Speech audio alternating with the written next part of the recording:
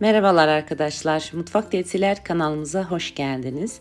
Bugünkü video tarifimde böyle mayhoş mis gibi çok güzel ve lezzetli mandalinalı marmeladım var arkadaşlar. Şöyle bakar mısınız? İstediğiniz tatlılarda kullanabilirsiniz. Yapımı çok pratik. Bir su bardağı mandalina suyunu, taze sıkılmış mandalina suyunu cezveye alıyorum.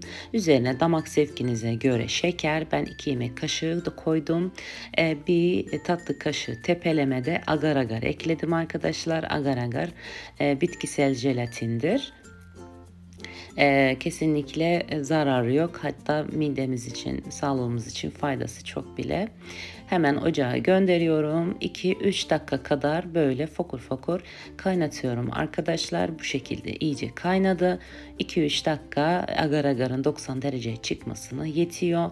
Güzel bu şekilde e, marmeladım hazır. Hemen böyle kalıplarım vardı. Kalıplarımı alıyorum. Siz dilerseniz herhangi bir düz e, borcama veya işte tabağa her, herhangi bir, bir kalıba da koyabilirsiniz. Tabii ki de sonra onları keserek küp küp işte ne bileyim e, daha farklı şekillerde de kesip değerlendirebilirsiniz. Tatlılarınızı süsleyebilirsiniz arkadaşlar. İsterseniz böyle e, kurabiye kalıplarda da kesebilirsiniz. Daha sonra düz bir kalıba koyduktan sonra e, her türlü şekil alır.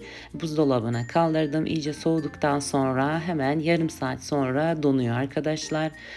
Ee, yarım saat, bir saat beklettiğinizde bu şekilde marmelatlarımız çok güzel şekil almış e, oluyor ve dayanıklı arkadaşlar. Kesinlikle ezilme, büzülme yok.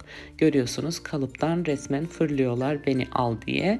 E, çok lezzetli, kesinlikle e, agar agar tadını fazla hiç almıyorsunuz. E, mayhoş böyle mandalina e, suyundan gerçekten çok güzel marmelatlar oluyor. Dilediğiniz dediğim gibi tatlılarınızı süsleyebilirsiniz.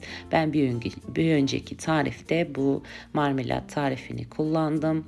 E, gerçekten çok güzel oldu. E, pastamda dilerseniz linkini burada e, altında yazacağım. Tıklayarak bakabilirsiniz. Gerçekten e, çok lezzetli bir tarif. Herkese denemesini tavsiye ederim. Bugünkü video tarifim böyle kısa ve çok lezzetliydi.